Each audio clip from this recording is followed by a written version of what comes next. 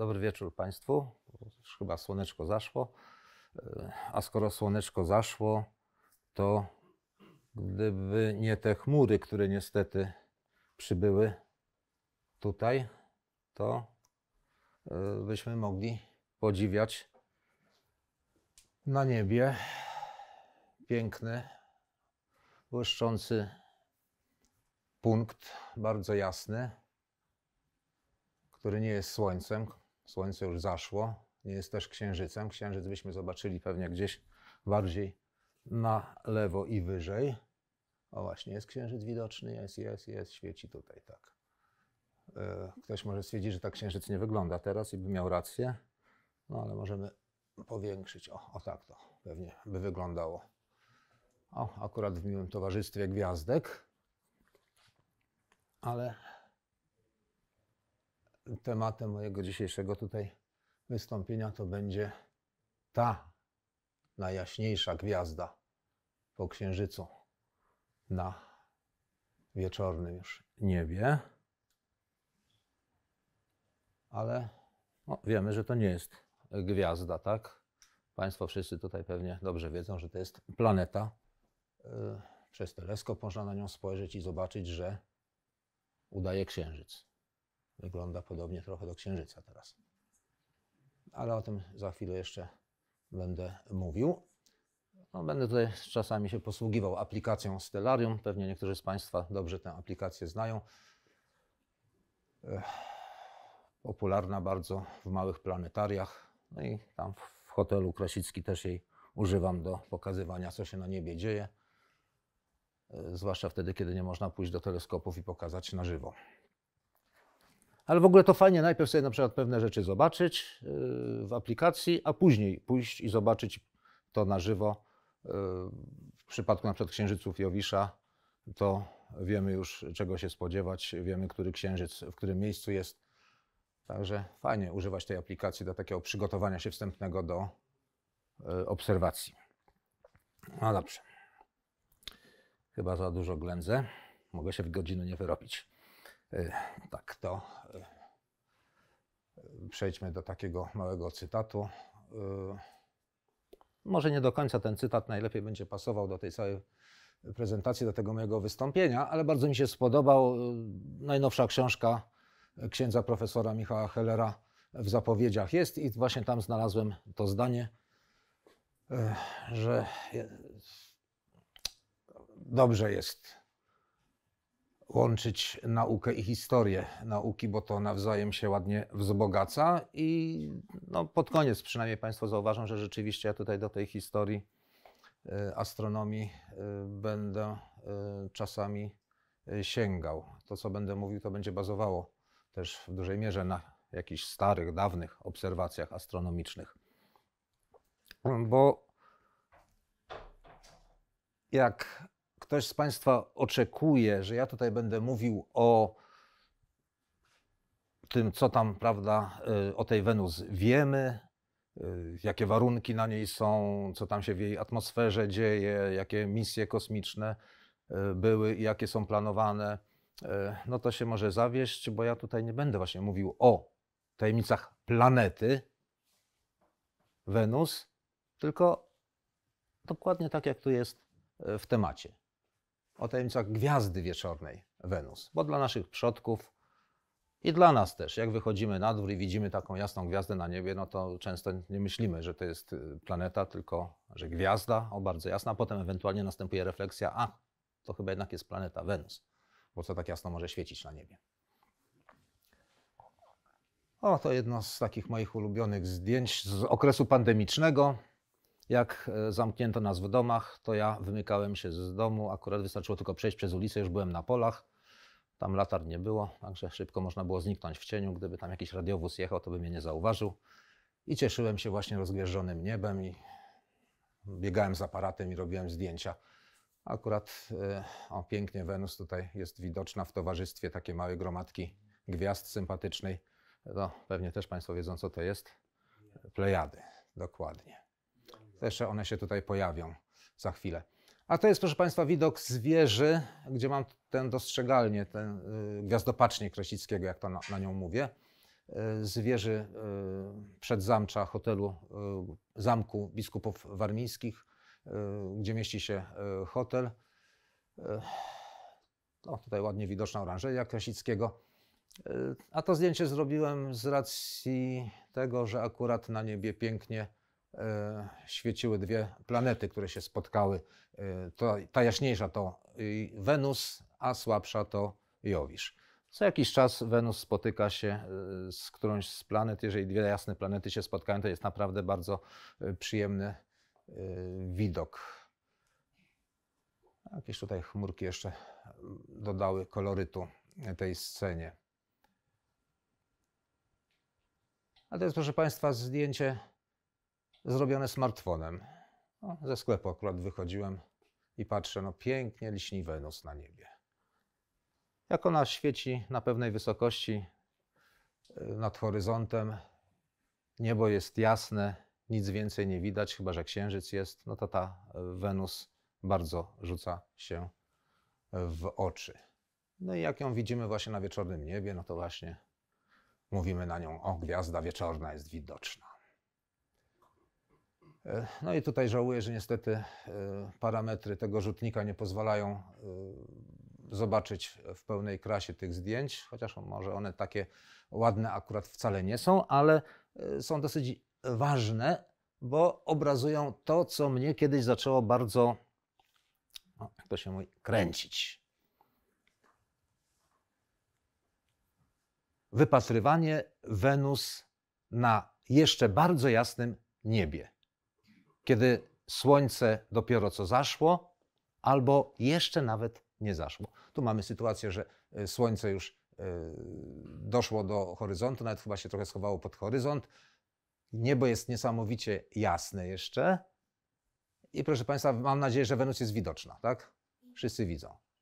No i to zdjęcie, proszę Państwa, zrobiłem z tego względu, że e, tutaj widać odbicie w wodzie, w rzece. Wenus. No niestety tutaj na tym zdjęciu trochę słabo y, to widać. Y, No ta rozdzielczość, głębia kolorów niestety przeszkadza i tutaj przede wszystkim bardzo przeszkadza, ale mam nadzieję, że widzą Państwo ten punkcik jasny. W tym miejscu widać? A teraz proszę zwrócić uwagę, że słońce jeszcze jest nad horyzontem, czyli jeszcze jest dzień. I to jest zdjęcie dosłownie zrobione z okna e, mego mieszkania. Po prostu zobaczyłem przez okno, o, o, Wenus już widać, a słońce jeszcze nie zaszło. Kto z Państwa widział Wenus na dziennym niebie? Tak? O, parę osób tutaj się zgłasza. To super. No to jest naprawdę duża satysfakcja wypatrzeć, no bo trzeba wiedzieć, gdzie wzrok skierować. Wczoraj akurat y, wyszedłem y, na dwór w takiej porze i patrzę, patrzę, no i nie widzę. Wiem, że gdzieś tam powinna być. Nie widzę, nie widzę. Szukam, szukam, szukam. I w końcu w pewnym momencie jest, widzę. I taka radość jest, proszę Państwa. Życzę Państwu takiej satysfakcji. To jest, y, ja to traktuję wręcz jako sport. Jak najszybciej wypatrzeć Wenus, póki jeszcze jest jasno. No bo jak się zrobi ciemno, to wszyscy widzą. O, to moje ulubione zdjęcie Piotra Potępy, tutaj y, gdzieś w okolicach pewnie Torunia na polach robione.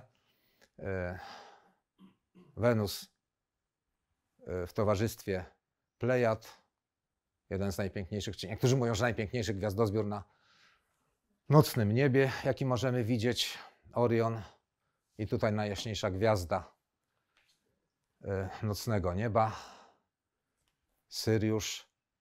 E, No i proszę Państwa, pięknie widać, jak Wenus przerasta swoją jasnością najjaśniejszą gwiazdę, faktyczną gwiazdę. To jest planeta Wenus. Ale dzisiaj mówimy o niej tutaj z premedytacją gwiazda wieczorna. E, Proszę Państwa, najdłużej to można ją oglądać, nie pamiętam teraz dokładnie, nie sprawdziłem. e, Zdaje się, że chyba nad, ponad 4 godziny, do 4,5 godzin chyba można ją oglądać w roli gwiazdy wieczornej. Jeżeli e, najdalej się oddali, najbardziej oddali się od Słońca na swojej orbicie, to tak zwana będzie elongacja wschodnia.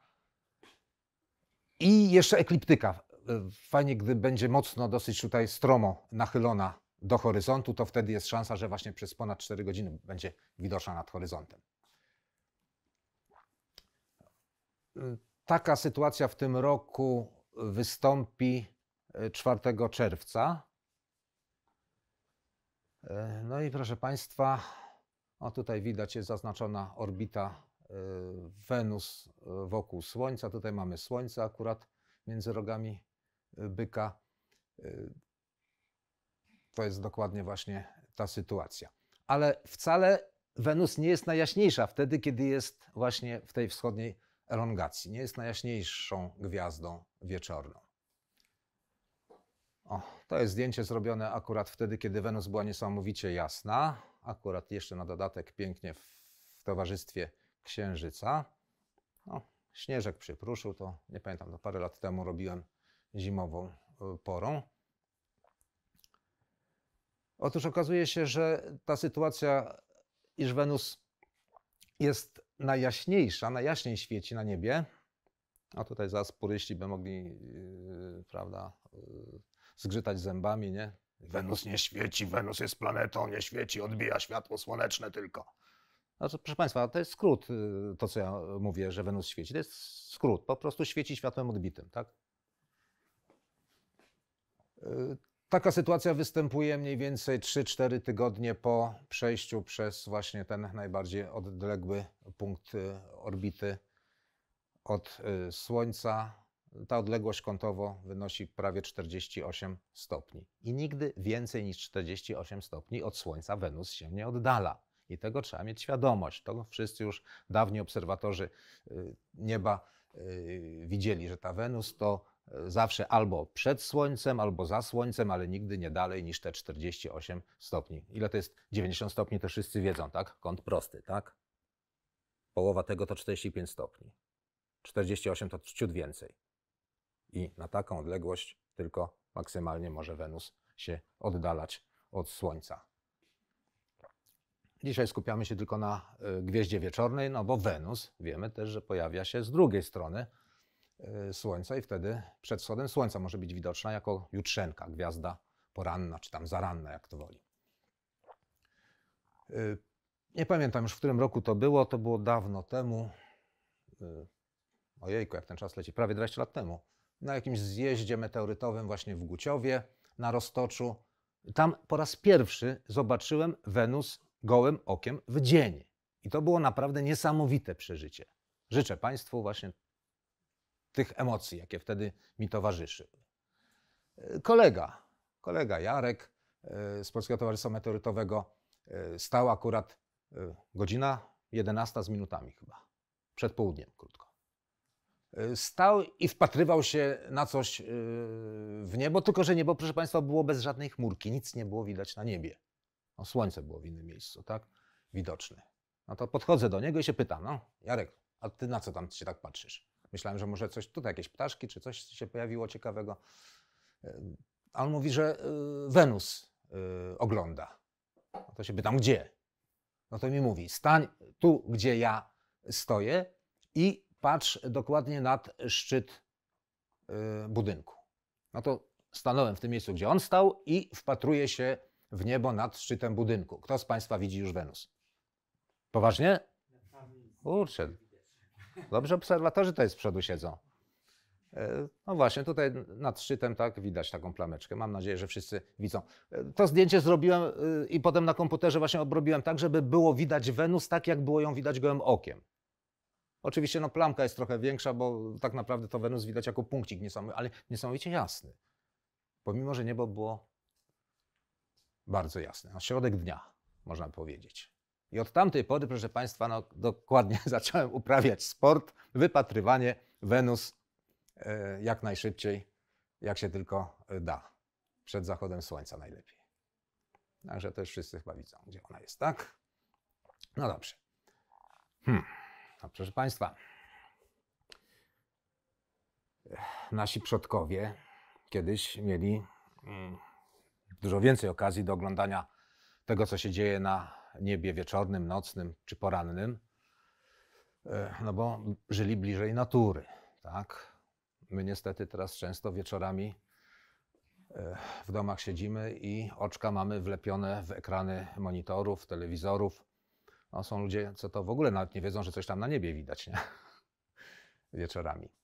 Y, Więc y, wczujmy się troszeczkę właśnie w tych naszych pra, pra, pra, pra, pra, pra przodków.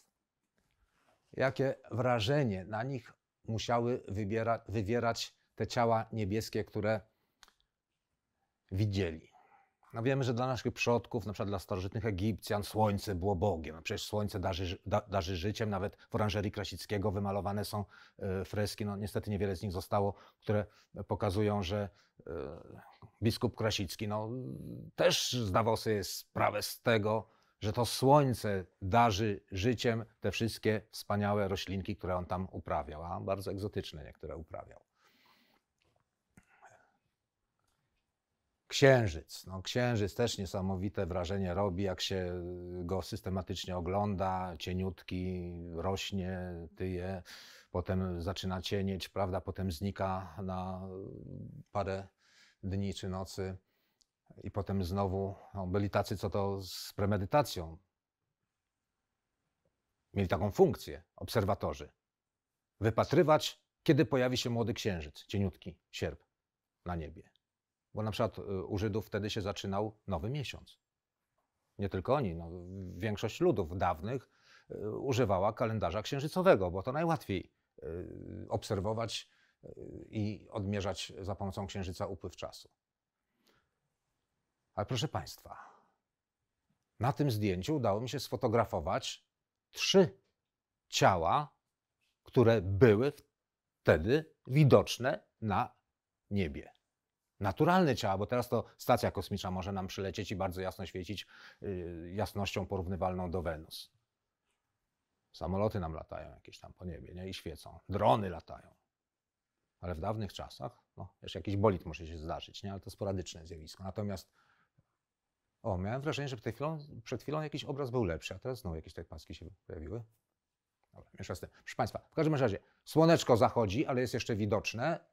Tutaj księżyc y, w pierwszej kwadrze. I no właśnie, nie wiem, czy Państwo widzą, ale tutaj jest widoczna Wenus. Więc mamy trzy naturalne ciała, które od tysięcy, tysięcy lat można było oglądać na dziennym niebie. Trzy wyjątkowe ciała. No bo w nocy, wiadomo, to już widzimy tysiące punkcików, jasnych obiektów na niebie. No, to teraz też chyba wszyscy widzą, tak? Tę kropeczkę. No, tutaj to będzie ciężko wypatrzeć Wenus. A to jest właśnie o przykład tego sportu mojego ulubionego. Właśnie na spacerku jestem, prawda? I, i, I wiem, że gdzieś tutaj powinna być Wenus, nie? I wypatruję, wypatruję, wypatruję. Czasami, proszę Państwa, 15 minut ostrego wypatrywania i się poddaję. No, nie zawsze się udaje, ale tu już byłem prawie zniechęcony i jest, jest, e, wypatrzyłem ją. I teraz no, na tym zdjęciu niestety jej nie zobaczymy y, ze względu na jakość. To jest kadr y, większy, więc tutaj mam nadzieję, że Państwo widzą, tak?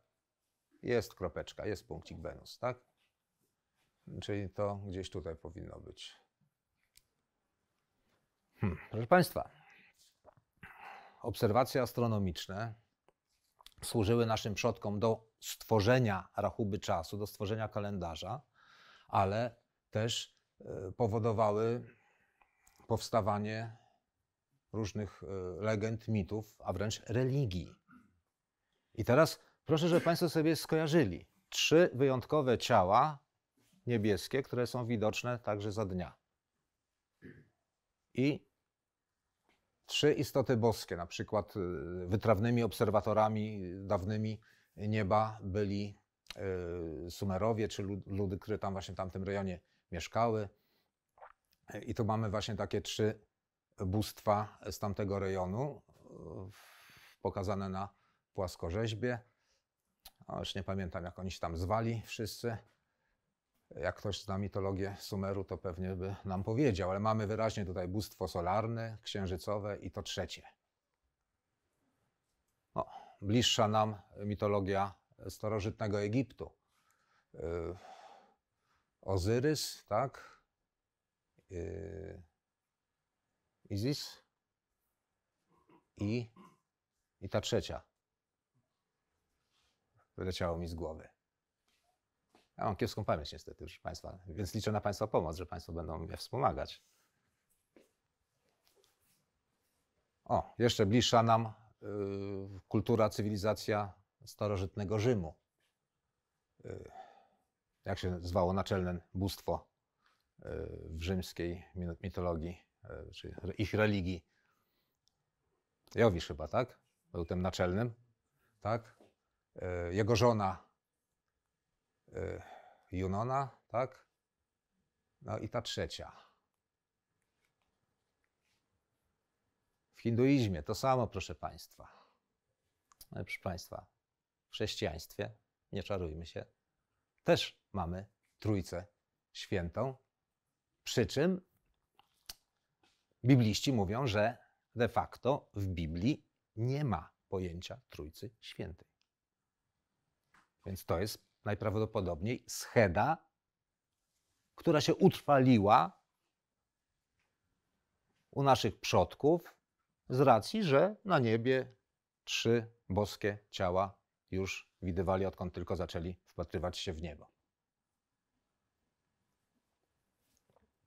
W popkulturze też te trzy elementy jak najbardziej e, funkcjonują. No akurat tak na szybko sobie dzisiaj włączyłem płytę e, Chrisa Ree.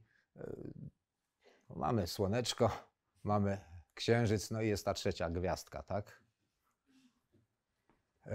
Proszę zwrócić uwagę na to, że ona tutaj jest w kształcie e, pięcioramiennej gwiazdy z pentagramu. To nie jest przypadek, o tym za chwilę będę mówił.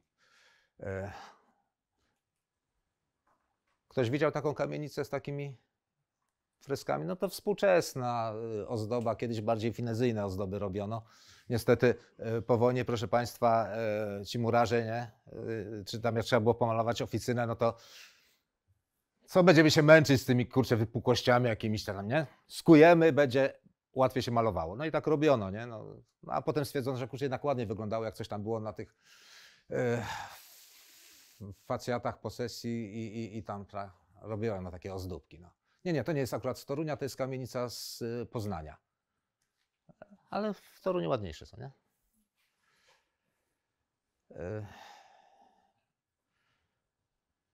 Co jeszcze y, o takich obserwacjach y, Wenus y, warto powiedzieć i na co zwrócić uwagę? Proszę Państwa, Wenus, ponieważ zbyt tam wysoko na nieboskłon od horyzontu się nie oddala, jak, jak to wcześniej powiedziałem, a często widzimy ją na tej wysokości takiej tam powiedzmy kilkunastu, dwudziestu stopni nad horyzontem, to często tkwi w takim pasie kolorowych, y, pomarańczowych, żółtawych, czerwonawych obłoków jakby, a często jest czyste niebo i tylko niebo po prostu taką barwę przyjmuje.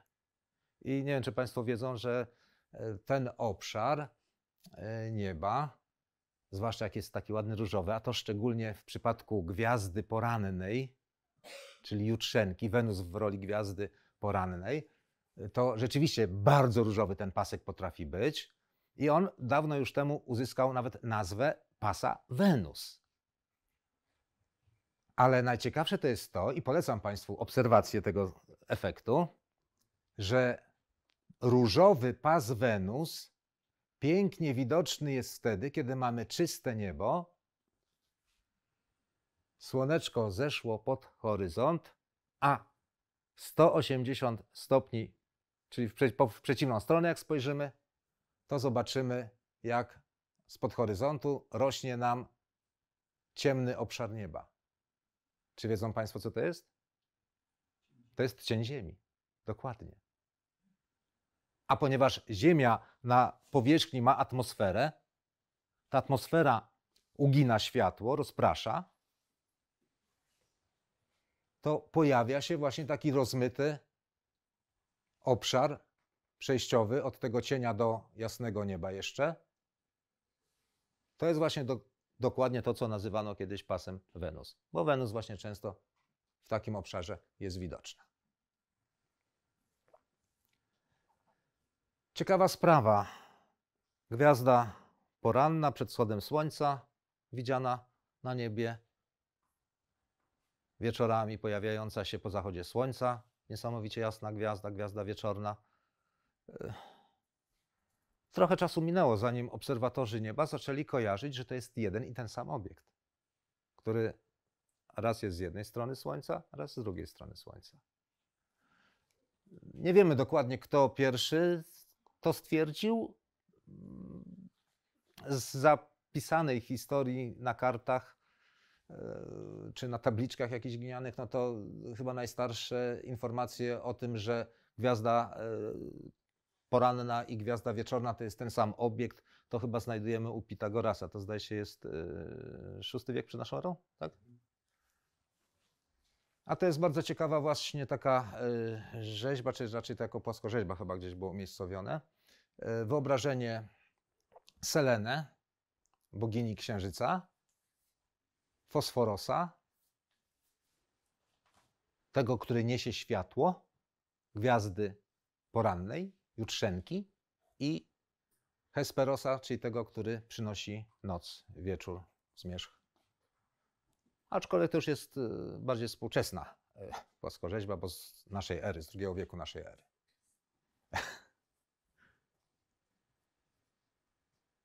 No dobrze, starożytni teleskopów nie mieli, więc nie mogli zobaczyć, jak wygląda Wenus przez teleskop, czy chociażby, proszę Państwa, przez lornetkę. Jak ktoś ma lornetkę, warto popatrzeć teraz, czy w maju, czy w czerwcu na gwiazdę wieczorną Wenus. Bo nawet przez lornetkę w czerwcu na pewno. Przez zwykłą lornetkę. Znaczy może nie teatralną, ale taką, co tam mm, ma siedmiokrotne y, przybliżenie, czy dziesięciokrotne, czy, jeszcze, czy nawet większe, to zobaczą Państwo, że Wenus jest rogata. Udaje księżyc. No, normalnie jak patrzymy, to raczej tego nie widzimy. No, jak użyjemy małego e, teleskopu, lunetki, no to już wyraźnie zobaczymy.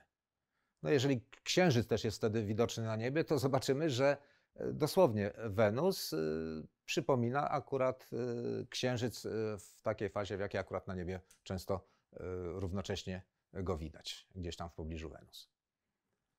O ile to, to ja chyba zrobiłem symulację, umieściłem zdjęcie Wenus y, przy zdjęciu Księżyca, żeby y, mieć porównanie skali rozmiarów, to to jest autentyczne zdjęcie. Wenus rzeczywiście była bardzo blisko Księżyca i na jednym zdjęciu zrobionym za pomocą chyba teleobiektywu 300 mm, to, y, a może teleskopu, już nie pamiętam, w polu teleskopu chyba się mieściło też.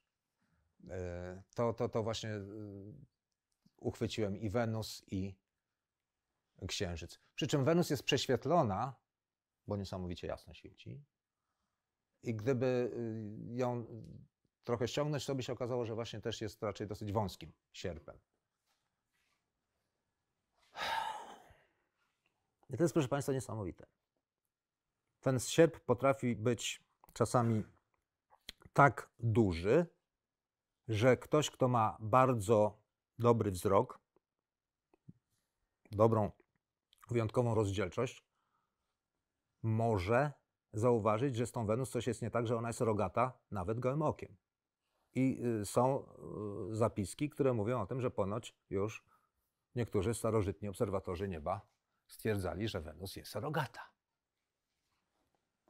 Bo proszę Państwa, jak jest taki wąski sierp Wenus, to rozmiary kątowe są powyżej jednej minuty y, kątowej. A rozdzielczość oka ludzkiego typowa to jest właśnie rzędu minuty. Więc jest szansa zauważyć, że coś jest z tą Wenus nie tak. Ale generalnie, jak y, patrzymy na Wenus, zwłaszcza jak ona nisko nad horyzont schodzi, to jak użyjemy właśnie lunetki, no to zobaczymy jakieś dziwne efekty, że ona jakaś taka wcale nie ładna biała, tylko jakaś taka przebarwiona. No to jest efekt naszej atmosfery, która y, ugina y, inaczej świat, promienie światła niebieskiego, inaczej czerwonego i, i, i wtedy Wenus wychodzi taka właśnie przebarwiona. Jeszcze na dodatek obraz strasznie pływa. Y, scintylacje atmosferyczne powodują, że ten obraz się rozmazuje. Więc to jest to właśnie taki przykład Wenus y, sfotografowanej, y, gdy, gdy patrzymy na nią przez już grube warstwy atmosfery. Bardzo ciekawe, no niestety jakoś nigdy nie udało mi się tego zrobić. Może jak będę na emeryturze, jak dożyję, to spróbuję zrobić własną sekwencję takich zdjęć.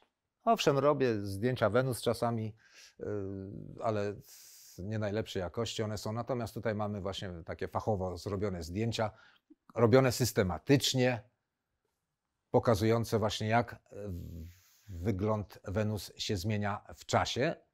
No i widzimy tutaj nie ma akurat pełnej kuleczki, e, nie ma pełnej Wenus. E, przechodzimy przez taką, to by była w przypadku Księżyca trzecia kwadra, tak? do, do bardzo cienkiego sierpu. Ale proszę zwrócić uwagę właśnie na to, jak się zmieniają rozmiary kątowe Wenus. Ponad sześciokrotnie. Gdybyśmy ten rozmiar gdzieś tutaj odliczyli, to tutaj z sześć razy by się zmieściło, a faktycznie ponad sześciokrotnie się zmieniają te rozmiary. A czasami jest szansa, proszę Państwa, jak Wenus jest w nowiu, no to jak jest księżyc w nowiu, to go nie widzimy, nie? A w przypadku Wenus okazuje się, że można zobaczyć Wenus w postaci takiego pierścienia.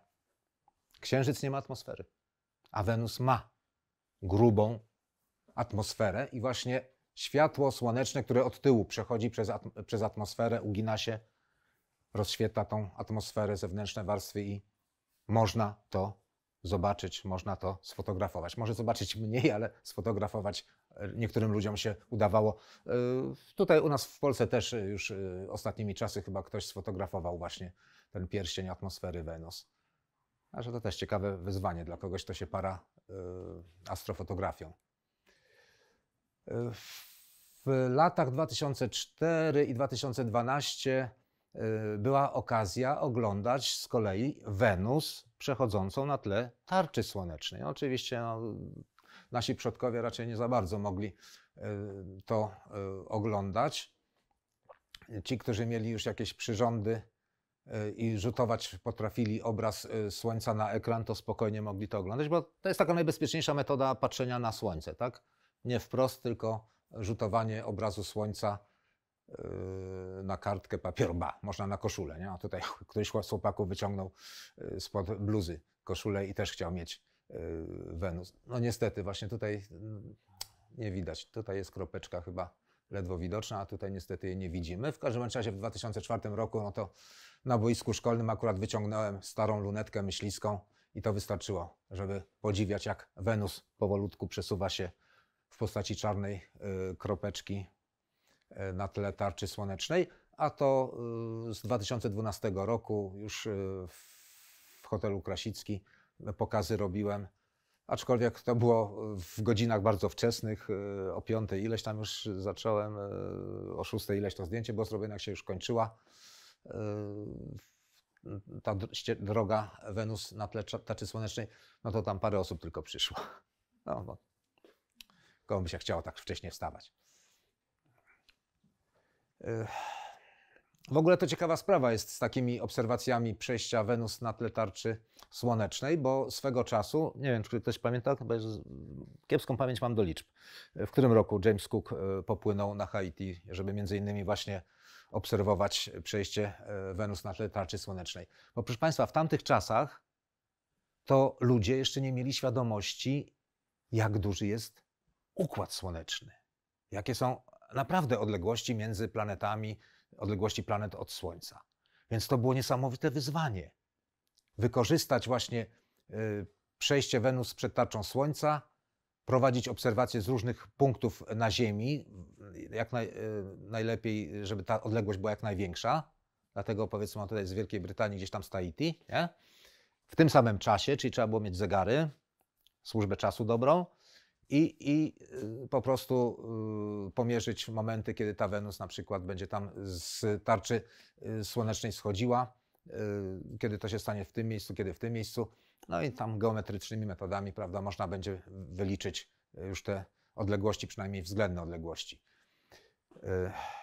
A nie, nie, no jak znamy te, te, ten odległość, znamy kąty, tutaj to o, spokojnie sobie po, po, obliczymy, jak daleko jest do Wenus, jak daleko jest do Słońca. E, Niestety okazało się, że w praktyce nie dało się tego dobrze zrobić, bo nie przewidziano tego efektu. To dopiero właśnie wyszło przy obserwacjach, że jak się ogląda e, Wenus na tle tarczy słonecznej, to jest ładna czarna krop, e, taka kropa, ale jak dochodzi do krawędzi, to się rozmywa przy krawędzi. I niestety ten efekt właśnie takiej kropli rozmytej spowodował, że pomiary nie były zbyt precyzyjne. No ale na tamte czasy to było i tak to niezłe osiągnięcie. E, Także jakby ktoś chciał o tej całej historii wyprawy Jamesa Cooka i tych pomiarach poczytać, to polecam. E, Wszystkie stare numery, nie pamiętam e, do którego roku, z, z tych ostatnich z tego roku, z ubiegłego roku chyba nie ma w internecie, ale wszystkie poprzednie są w internecie dostępne, więc można sobie z 2012 roku numer Urani ściągnąć w PDF-ie i poczytać. Y, Pierwszym człowiekiem, który zaczął obserwować właśnie przez przyrządy, przez siebie skonstruowane lunety, y, między innymi Wenus, i, i pierwszym, który zobaczył fazy Wenus, to są jego autentyczne rysunki, e, był włoski astronom Galileo Galilei. W skrócie, jak to mówimy na niego, Galileusz. Tak? Zdaje się, że on to chyba e, te fazy Wenus obserwował no, już w 1610 roku, e, ale żeby zobaczyć e, taki cykl zmian, no to trzeba wiele, wiele miesięcy na to poświęcić. Więc on chyba dopiero w 1600, o ile dobrze pamiętam, 1600, 3 lata później, w 1613 chyba opublikował e, te swoje e, obserwacje. E, No proszę Państwa, Galileusz słynął z tego, że był wielkim piewcą teorii heliocentrycznej Kopernika, tak? To było już ho, ho, ho, prawie 100 lat po tym, jak Kopernik e, opisał swoją teorię nie? w postaci komentarzyka. To wtedy akurat w Lidzbarku Warmińskim e, prawdopodobnie e, rezydował.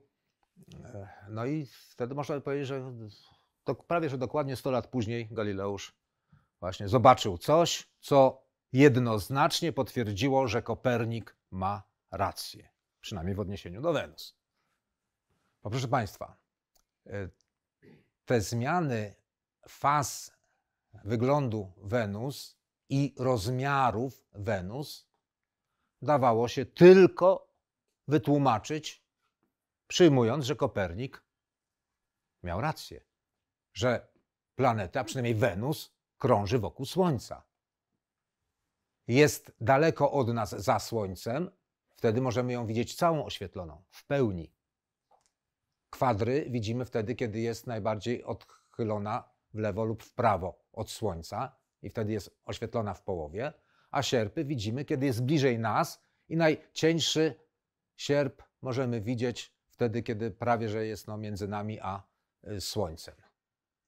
Ale wtedy, proszę Państwa, jest sześć ponad razy większa, jeżeli chodzi o rozmiary kątowe, bo jest tyle razy bliżej nas.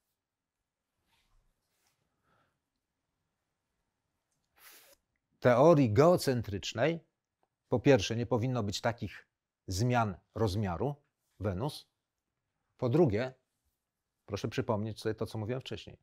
Wenus oddala się od Słońca w lewo lub w prawo yy, najwyżej na te 48 stopni. A w takim razie powinniśmy oglądać tylko te fazy. Tych nie powinniśmy widzieć. Bo przecież yy, w tym modelu ptolemejskim, przedkopernikańskim, Wenus krąży wokół Ziemi bliżej niż Słońce. Więc nigdy nie może się znaleźć za Słońcem. Proste? Proste. No i dla Galileusza to w tym momencie to było oczywiste, że no kurczę, no, no żelazny dowód na to, że Kopernik ma rację. No. no niestety, proszę Państwa, świat jeszcze nie był na to przygotowany. I dlatego gnębiono biednego Galileusza i kazano mu, za przeproszeniem, odszczekać jego prokopernikańskie poglądy. Yy, Pozwoliłem sobie kiedyś do jeszcze postępów astronomii yy, narysować yy, taki rysunek, który miał ilustrować cykl artykułów o tym, jak to właśnie nasz pa- papież Jan Paweł II doprowadził do tego, żeby zamknąć sprawę Galileusza formalnie. No bo to się stało kością niezgody między światem religii i nauki. I Jan Paweł II chciał zażegnać to. Więc kazał przywrócić znowu na wokandę sądową sprawę Galileusza, żeby go formalnie ułaskawić. Bo za życia, jak już był stary i schorowany Galileusz, to no, po prostu kazano mu to wszystko odwołać, a on dla świętego spokoju w końcu ustąpił i odwołał. Bo już miał serdecznie tego wszystkiego dosyć. Ale legenda mówi, że jak wyszedł z sali rozpraw, tam o tej inkwizycji, to ponoć stanął, butnie podniósł paluch do góry i powiedział epur simowe, a jednak się kręci. A jednak Kopernik ma rację. No i w takiej pozie go tutaj narysowałem, proszę Państwa, e, a e, nasz e, biedny Jan Paweł II tutaj na diabelskim, przepraszam, na oku Kopernika się kręci, tak? W Toruniu.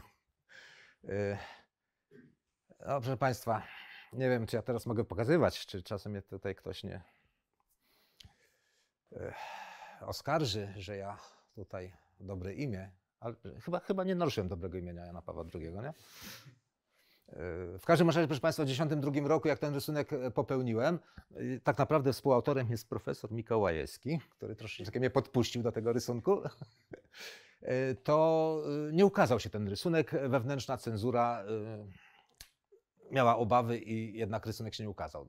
Dopiero się ukazał. Paweł II zrehabilitował Galileusza i No o tym właśnie mówię, o tym mówię, o tym mówię, o tym mówię. Także ja myślę, że Jan Paweł II za życia, jakby zobaczył ten rysunek, to by się uśmiechnął, prawda? I zresztą za sprawą środowiska astronomicznego. Nie, no dokładnie, dokładnie. Ale proszę Państwa, o co tutaj, o co tutaj chodzi? To w takim cyklu, który w Urani kiedyś tam e, prowadziłem, taki kącik też niestety jakoś zaprzestałem, astrożarty, e, to pozwoliłem sobie właśnie ten rysunek po latach, e, 2017 rok, e, przywrócić, ponieważ dostałem odzięcia e, kiepskiej jakości, ale zdjęcie zrobione smartfonem w kiepskich warunkach oświetleniowych. Gdzie? We Florencji, w domu Galileusza. Po prostu zięć z córą, jak tam byli, zwiedzili to muzeum, no to zobaczyli coś i trochę oniemieli. Okazało się, że e, w Muzeum Galileusza, w byłym domu, gdzie on e, mieszkał, przechowywane są świeckie relikwie, palce Galileusza. E, Od, odcięto mu je oczywiście od zwłok po śmierci. Ale proszę Państwa, palec Galileusza 1, palec, palec Galileusza 2, ponoć też jest trzeci. A nie wystarczyło tego jednego, który wyciągnął? Y, Teraz dzieci na chwilę popatrzcie, jak to światło jasne świeci tam z boku, tak? Proszę Państwa, no nie wiedziano, który wyciągnął. Widocznie. No dobrze, ale wróćmy do gwiazdy wieczornej Wenus, proszę Państwa. Y, Czasami Wenus spotyka się z Księżycem. Y, No, czasami są bliskie spotkania. Ojejku, przeskoczyłem. Czasami dalsze, ale zawsze to jest y, bardzo miły dla oka widok. Ja nie jestem rannym ptaszkiem, a żeby to zdjęcie zrobić, to ja wstałem y, przed piątą rano chyba i ganiałem do miasta y, z aparatem, z teleobiektywem, żeby właśnie uchwycić jakieś ładne ujęcia z Księżycem i z Wenus, bo to akurat było na porannym niebie, no jeszcze przed wschodem słońca, a po wschodzie słońca jeszcze też było widać, ale już nie tak ładnie. A to to już nowsze, ale nie ta odległość niestety. Ale czasami się zdarza, że Wenus znajdzie się dokładnie na trasie wędrówki y, Księżyca y, po sferze niebieskiej. I taka sytuacja teraz niedawno była, 19 czerwca 2020 roku. Niestety rano to było, y, no czy to tam rano, jak dla kogo, nie? Jak ktoś wstaje o 5, to już środek dnia, tam 10 chyba godzina, czy coś koło tego. E, A jest godzina chyba tutaj, ty, o już 11. Bo to jest, proszę Państwa, po zakryciu. Wenus z tej strony najpierw była widoczna, ale ja zrobiłem zrzut ekranu z Stellarium, jak Wenus wyszła z drugiej strony. Jak ktoś miał pogodę, to mógł obserwować. Zdaje się, że chyba Karol Wójcicki robił transmisję yy, w internecie. Yy, Ale czy cały przebieg zjawiska transmitował, to nie wiem, nie, muszę sprawdzić. Otóż, proszę Państwa, ten obrazek Państwo chyba skądś znają. I teraz przejdziemy do sprawy, która mnie zaintrygowała, yy, gdy żona stała się fanką yy, seriali tureckich. Yy, Tak wygląda flaga Turcji, tak? I logo, herb Turcji.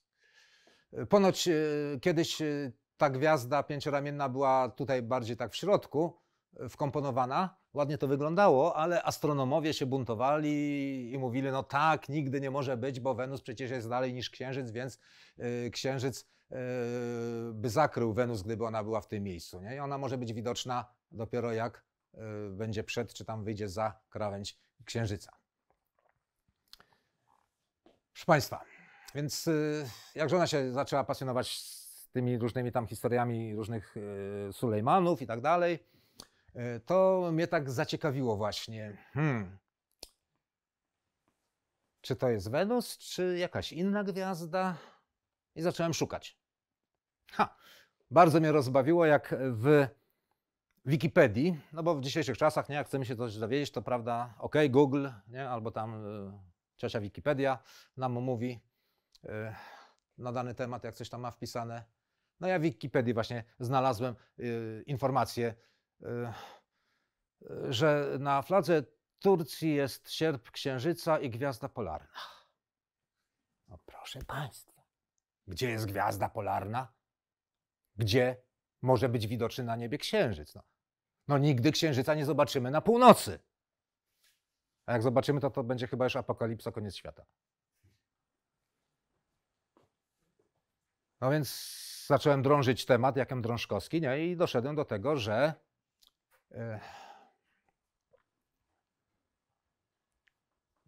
ten symbol powstał dosyć dawno temu. Był najpierw używany przez jakieś tam drobne e, organizacje, czy tam jakąś rodzinę. No, u nich to na jedno wychodzi, nie?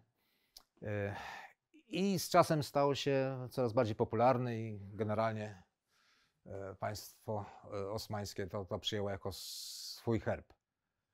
E, A początek tkwi w 1389 roku. O, znowu czerwiec. Czerwiec to ulubiony we, mi- miesiąc Wenus chyba. E, 16 czerwca, proszę Państwa. e, Nie, 15 czerwca. Rozegrała się potworna, krwawa bitwa. To taki, e, jak to się mówi, jak sequel to jest jak po, nie? a jak coś przed jest, to jest prequel, czy jak to tam się mówi? E, Do bitwy wiedeńskiej. Armia wielka pierwszego e, sułtana ruszyła na Europę, ale utknęli na e, jakichś polach, gdzie Serbowie, łącznie z rycerstwem z prawie całej Europy, tam ponoć po raz pierwszy rycerze z Polski mieli do czynienia w boju z Turkami. Y, To y, bardzo krwawa bitwa się rozegrała i legenda mówi, że oczywiście y, sułtan uważał, że on zwyciężył, zjednoczone siły europejskie uważały, że one dały radę, nie, nie puściły dalej. W każdym bądź razie to jest bardzo znana w historii bitwa, bitwa na Kosowym Polu. No i ponoć jak bitwa się skończyła, zapadła noc, to rycerze y, sułtana chodzili po polach i zbierali swoich rannych, jeszcze żywych pobratymców. W nocy jest potwornie ciemno, no chyba że księżyc świeci. Akurat no, dosyć późno wzeszedł księżyc w postaci sierpa i y, przyświecał, dzięki czemu coś tam widzieli. A jak księżyc zbliżał się do zachodu i słabiej świecił, to jeszcze przed świtem wzeszła bardzo jasna gwiazda na niebie. Gwiazda poranna jutrzenka. I ponoć właśnie ten sierp księżyca i tą gwiazdę umieszczono na herbie. Y, Sierp księżyca i gwiazdę pięcioramienną. Dlaczego pięcioramienną gwiazdą oznaczamy Wenus, to za chwilę się wyjaśni. Y, To znajdziemy na wielu innych jeszcze flagach, czy tam w symbolach. Także dosyć popularny symbol, ale właśnie proszę zwrócić uwagę na to, że ta Wenus to jest, że ta gwiazda to jest pięcioramienna. Astronomowie dobrze wiedzą, że nie ma pięcioramiennych gwiazd, bo jak się przez instrumenty obserwuje i fotografuje gwiazdy, to zawsze wychodzi parzysta ilość ramion, więc nie może być pięcioramienna gwiazda. E, A tutaj uparcie wszędzie pięcioramienna jest, nie? Nawet na e, fladze Unii Europejskiej też mamy gwiazdki pięcioramienne. O właśnie, no to teraz spróbuję wyjaśnić tę zagadkę, ale pr- proszę wybaczyć, spojrzę na zegarek. O, do go, go- godziny się zbliżam, to w takim razie nie będę z Państwem prowadził symulacji obserwacji, bo fajnie by było Stellarium użyć teraz i przeprowadzić samemu obserwacje, jakie prowadzili nasi przodkowie. I to odkryć samemu można. No, z, braku czasu to pozwolę sobie teraz niestety już to zrobić y, tylko tutaj za pomocą y, prezentacji. Otóż y, po pierwsze musimy sobie uświadomić, że y, Wenus, tak jak inne planety, porusza się po pewnym pasie y, nieba, y, gdzie mamy gwiazdozbiory, które nazywamy gwiazdozbiorami zodiakalnymi. To jest pas zodiakalny, tak? I wszyscy pewnie te gwiazdozbiory zodiakalne znamy. Ile jest gwiazdozbiorów zodiakalnych? 13. Ale klasycznie przyjmuje się 12, tak? 13 to liczba pechowa, proszę Państwa. Kto z Państwa kupuje 14 13 plasterków sera albo 13 plasterków jakiejś wędliny w delikatesach? No kto? Poważnie? Też? Żartujesz? Naprawdę? I jak sklepowe reagują? Bo ja szybko przestałem, wiesz, jak mi jedna sklepowa Ile? 13? A co, pani przesądna jest? Nie, nie, nie, nie, Boże, ale wie pan, lepiej uważać. Potem jakaś młoda, początkująca mi się rozpłakała, to już przestałem. Otóż, drodzy Państwo, właśnie w Stellarium pięknie można takie symulacje zrobić, sobie oglądać, jak Wenus wędruje po niebie. I teraz można właśnie się zabawić wyłapywanie tych momentów, gdy ona jest albo najjaśniejsza, albo kiedy jest najbardziej oddalona od Słońca. To takie charakterystyczne punkty. No i też 6 lat temu właśnie zacząłem się w to bawić i o. Ciach, Wenus w wodniku się pojawiła. Będąc w tej y, wschodniej elongacji. Dobra, mamy tutaj symbol y, wodnika, tak? Y, Potem sytuacja powtórzyła się, no niestety nisko nad horyzontem, bo mm, orbita Wenus bardzo płasko w stosunku do horyzontu była położona była w gwiazdozbiorze Panny. O, panna żniwna z kłosem zbóż. Tutaj gdzieś spika powinna być ulubiona gwiazda Kopernika. Dobra, mamy Virgo, Pannę, tak? Tutaj mamy drugi punkt. Następnie sytuacja się powtórzyła z elongacją y, wschodnią y, między Baranem a Bykiem. Ciach zaznaczamy trzeci punkt. No i właśnie, proszę Państwa, czwarty raz to wypadło przy nodze tego pana z wężem. Wężownika. No tutaj na kole zodiakalnym nie mam symbolu wężownika. Tak przy okazji, proszę Państwa, czy Państwo wiedzą, jaki symbol y, ma wężownik? Wszyscy na pewno Państwo dobrze ten znak znają i często widują, zwłaszcza jak idą do apteki. Es, y, wężownik to jest eskulap. Wąż oplatający laskę, kaduceusz. Symbol wężownika.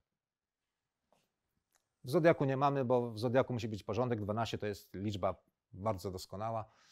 E, Dzieli się przez 2, 3, 4, 6. I w ogóle 12 to jest fajna liczba. Taki tuzin. Więc o tym wężowniku oczywiście nie pamiętamy. Ale proszę Państwa, aptekarze pierwsi, moi przodkowie byli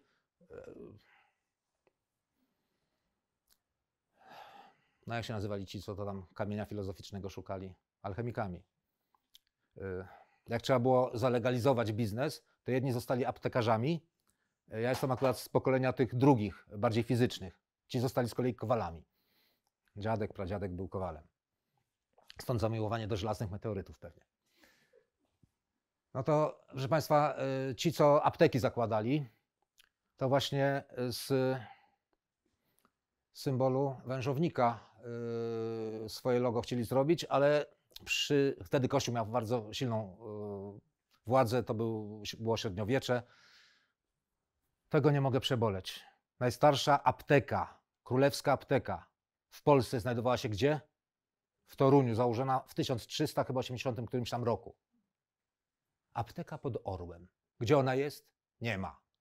Jakiś tam chyba sklep jest teraz, czy co tam jest? Przy rynku, naprzeciwko ratusza. To była apteka, proszę Państwa. W każdym, teraz cukiernia jest, no fajnie, że chociaż na, na osłodę cukiernia jest. Proszę Państwa, W każdym prawie większym mieście można było znaleźć, i teraz jeszcze można często znaleźć, aptekę pod orłem. Ha, dlaczego? Bo proszę Państwa, jak spojrzymy na niebo i poszukamy, ojejku, trzeba by gwiazdozbiory wszystkie włączyć. A nie, to nie jest temat tego spotkania. Wróć, proszę Państwa, nie, nie. Jak będą Państwo chcieli, to mnie Państwo zaproszą, ja przyjadę i będę o tych innych rzeczach opowiadał. Nie, nie, przepraszam, czasu nie mamy na to. Dobra, tajemnica y, aptek pod orłem i tak dalej, to, no, to jest inny temat. Już się poprawiam, wracam do tematu. Niestety mam tendencję do zbaczania w tematy poboczne. Yy, Proszę Państwa, i yy, piąty raz taka sytuacja powtarzy nam się w. O, kto wie, co to za gwiazdozbiór? Zodiakalny? Nie, to jest krab. Bo te ludy, które stworzyły kanon zodiaku, który my mamy, yy, to raków takich jak u nas są, to nie znały. Tam u nich to kraby, yy, jak bajorka wyschły, to latały im pod nogami. Ale mówimy, że to jest gwiazdozbiór raka, nie? Okej, teraz proszę Państwa, yy, następny raz sytuacja się powtarza. Znowu w punkcie wyjścia. O, to będzie dopiero za półtora, prawie dwa lata, tak? Yy, Znowu trafimy do yy, wodnika i teraz jak połączymy te wszystkie punkty, to otrzymamy pentagram. Gwiazdę pięcioramienną. Tym tematem się zająłem, jak mnie kiedyś znajomy pastor zapytał, Jacek, czy to prawda, że Wenus pentagram zakreśla na niebie? A ja taki zdziwiony, ja nic nie wiem. Jakieś błydy tam. U tego Dona Brauna wyczytał, nie? No. Ale potem mnie coś tknęło, zacząłem sprawę zgłębiać i właśnie doszedłem, że kurczę, jednak jest coś na rzeczy. Wenus naprawdę zakreśla, w pewnym sensie zakreśla na niebie pentagram. Tylko proszę Państwa, to jest brzydki pentagram, tego nie chcemy pentagramu, to jest tak zwany czarny pentagram. Hu, hu. Yy, No ale mitologia chrześcijańska jednak też coś mówi, że coś z tą Wenus jest nie tak, bo Wenus to gwiazda Lucyfera. To, kiedyś to był najdoskonalszy archanioł. Tylko niestety yy, no, naraził się y, szefowi i został utrącony. Ja przyjechałem do państwa z Warmii, więc y, starzy warmiacy powiadali, że on nie tam do jakichś piekieł został utrącony, tylko tutaj, na ziemię i dlatego mamy przechlapane. W każdym razie, oto mam taką rycinkę, która pokazuje Lucyfera, czyli tego, który, bo Lucyfer to imię to oznacza niosącego światło. To jest imię gwiazdy niewieczornej, gwiazdy porannej. Jak ona się pojawia na niebie przed słońcem, to potem nastąpi świt, będzie dzień. Światło zwycięży. No ale od tego Sokratesa to wiemy, że, że, że, że wieczorna to to samo, nie? No, utrącony. W Biblii nawet można znaleźć tam u Izajasza chyba jakiś fragment, który o tym mówi, że został utrącony, prawda, do otchłani, strącony. Y, Michał, Archanioł Michał chyba go pokonał. Archanioł Michał jest na wieży kościoła w Lidzbarku, właśnie ją często gościom pokazuje y, i tego Michała pokazuje. Niestety jest bez skrzydeł. Rosjanie w 45 odstrzelili. Do tej pory jeszcze przez teleskop można oglądać ślady pocisków na jego koszulce i sukience. Także jak ktoś będzie kiedyś w Lidzbarku, to zapraszam na wieżę. No dobra, ale proszę Państwa, yy, odwracamy. O, gdybyśmy na przykład w tym samym czasie robili te same zabawy, ale jak ktoś ma stellarium zainstalowane, to może się pobawić. Yy, dla gwiazdy porannej, to w tym samym czasie by wyszedł nam pentagram odwrócony, biały, tak zwany biały pentagram. Symbol człowieka i symbol, proszę Państwa, piątego elementu. Kto nie widział filmu Piąty Element, to niech koniecznie go obejrzy. Ja ten film oglądałem trzy razy, tam jest mnóstwo symboliki ukrytej y, w tym filmie. A film jest przezabawny, świetna komedia. Y, Nasi przodkowie uważali, że nasz świat jest zbudowany z czterech elementów, tak? Z ziemi, wody, ognia, powietrza. Ale proszę Państwa, to tylko martwa materia. My jesteśmy istotami żywymi. Nasza istota to nie jest ręka, głowa, nawet noga czy cokolwiek, wątroba, serce, tylko umysł, to co się dzieje w umyśle. Myśl. Kojarzona przez starożytnych ze światłością też.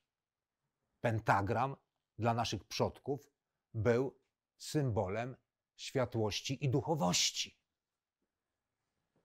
Więc jak Państwo, no, Pitagorejczycy właśnie się zachwycali tym symbolem. Y, Także y, piękna sprawa. Y, Poza tym sam pentagram jest bardzo ciekawą konstrukcją, bo parokrotnie w nim ukryty jest złoty podział. Także jak Państwo zobaczą kogoś, kto nosi na przykład o, taki fajny muzyk, Grzech Piotrowski nosi pentagram tutaj, to, to, to, to, to, to proszę nie myśleć, że to jakiś satanista. Nie, nie, to jest właśnie ktoś, kto jak Pitagorejczycy czci właśnie światłość. Yy, Z tym tematem też na seminarium w Grudziądzu kiedyś jedna moja uczennica występowała, akurat uzdolniona plastycznie, to ją poprosiłem kiedyś, żeby mi narysowała taki rysunek, bo ja nie miałem czasu do urani narysować. Yy, No to siebie narysowała właśnie o, i kolegów, nie?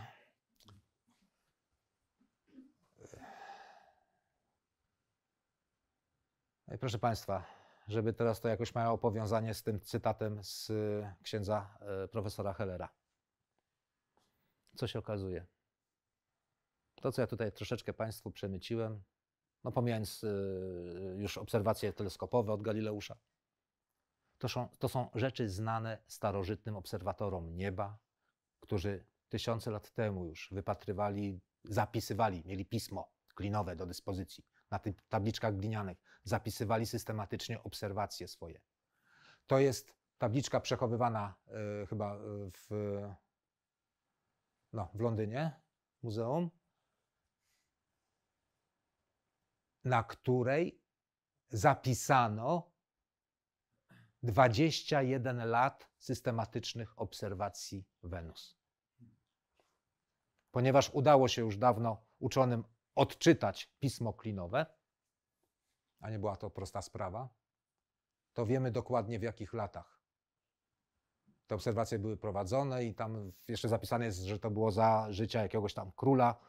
Także wiemy kiedy. Od razu historycy uradowani, bo wiedzą, kiedy dokładnie ten król żył, a potem można tam z tych różnych kronik zapisanych pismem klinowym to wszystko ładnie powiązać. Super sprawa. A to jest, proszę Państwa, kamień pamięci, którego już nie ma w tym miejscu. Ja mieszkam w Lidzbarku za miastem, tak jak mówiłem, tam przez ulicę tylko przechodzę, jestem na polach. I czasami lubiłem robić zdjęcia właśnie przy głazie narzutowym, starym, płaskim. Może to był kiedyś pogański stół ofiarny. Został ucywilizowany. W ubiegłym roku zniknął. Co się z nim stało? Okazało się, że został przeniesiony pod budynek szkoły imienia Jana Pawła II i na nim została umieszczona adnotacja. Katyń pamiętamy. Więc jest to dalej kamień pamięci. No niestety wolałbym, gdyby jednak został w swojej pierwotnej lokalizacji. Bo teraz jest ogrodzony płotkiem, potem jest drugi płotek, siatka. Już nie mogę, do niego nie dojdę, zdjęć z nim ładnych nie zrobię. No. Także proszę Państwa, no, z wszystkim trzeba zachować umiar. A teraz proszę Państwa, na koniec, bo mamy niestety cały czas czas, czas wojenny. Za naszą granicą wschodnią cały czas rozgrywa się wojna. Dlaczego pentagram, gwiazda pięcioramienna, którą my po tym spotkaniu, mam nadzieję, będziemy kojarzyć z Wenus, ze światłością, dlaczego ona jest namiętnie używana przez wielkie, największe armie światowe, potęgi militarne? Amerykańska armia, koreańska, chińska, rosyjska posługują się symbolem gwiazdy pięcioramiennej z pentagramu. Ba, nasi wojskowi też lubią, nie? Gwiazdki na epoletach. I też chyba są pięcioramienne. Otóż, proszę Państwa, odpowiedź jest właśnie w cywilizacji Sumeru, tam gdzie te pierwsze zapisane obserwacje astronomiczne były prowadzone. Dla nas Wenus, jak sięgamy do mitologii, to jest bogini miłości. Piękna bogini miłości. Z lusterkiem, dlatego symbolem Wenus jest, to Państwo wiedzą, nie? jak wygląda symbol Wenus. E, Lustro Wenus, tak? I często na obrazach można zobaczyć Wenus, jak się przegląda w lustrze. E, Dla alchemików to jest też symbol miedzi, bo pierwsze zwierciadła, w jakich się panie przeglądały, były po prostu z polerowanej blachy miedzianej. A co z tymi wojskowymi? Pierwowzorem, właśnie z okolic Babilonu, z tego Sumeru, e, pierwowzorem Wenus jest bogini Isztar. A jak popatrzymy do mitologii ludów Sumeru, y, z tamtego rejonu, to Isztar była boginią miłości, ale równocześnie była boginią wojny. A kto kojarzy Odysej, ten wie, że od miłości do wojny niedaleko. Aczkolwiek w pradawnych czasach to częściej y, używano do oznaczania Wenus symbolu gwiazdy ośmioramiennej. O, tu jest chyba, nie, tu jest akurat sześcioramienna u Piotra Potępy. Bardzo lubię to zdjęcie. Kiedyś miałem właśnie jako tapetę na pulpicie przez wiele, wiele lat. A to moje zdjęcie Wenus w towarzystwie Plejad. Yy, Kilka lat temu pięknie przechodziła przez Plejady. No moje zdjęcie takie ładne nie jest niestety. Yy, Ile gołym okiem widać gwiazd w Plejadach? Yy, Te najjaśniejsze. Nie, nie, gołym okiem to ludzie widzą raz, dwa, trzy, cztery, pięć, sześć chyba. Raz, dwa, trzy, nie, raz, dwa, trzy, cztery, pięć, sześć. Niektórzy, jak mają dobry wzrok, to widzą siedem, a niektórzy, to, ten y, Heweliusz z Gdańska to ponoć osiem albo nawet dziewięć widywał, ale przeciętny człowiek widzi tylko sześć. I dlatego, proszę Państwa, ponieważ Plejada w starożytnej Grecji oznaczała siódemkę, to y, powstało mnóstwo legend, mitów, y, bardzo popularne na przykład w XIX wieku były historie, powieści o tym pisano. O, o, o czym? O kim? O zaginionej siódmej siostrze. To taka ładna o, okazja, żeby gołe niewieście ciała malować i legalnie pokazywać nie, ludziom. E, Taki ładny obrazek tutaj, proszę Państwa. No i proszę Państwa, niektórzy mówili, że zaginiona siostra, ta siódma, to jest właśnie Wenus, która wędruje sobie. Odeszła od sióstr, ale co jakiś czas ciągle do nich wraca. I dokładnie Wenus tak systematycznie co jakiś czas te swoje stare siostry Plejady odwiedza. Także jak na niebie jest zbliżenie Wenus do Plejad, to też dobra pora, żeby popatrzeć w niebo, a jak ktoś tam lubi robić zdjęcia, to sfotografować. Yy, Ktoś tam chyba już mi tak pokazuje, widzę od dłuższego czasu, dopiero teraz zobaczyłem. Dziękuję serdecznie. Także proszę Państwa, yy, przepraszam, że przeciągnąłem troszeczkę i za dużo może gadałem, ale dziękuję, że Państwo cierpliwie yy, wysłuchali.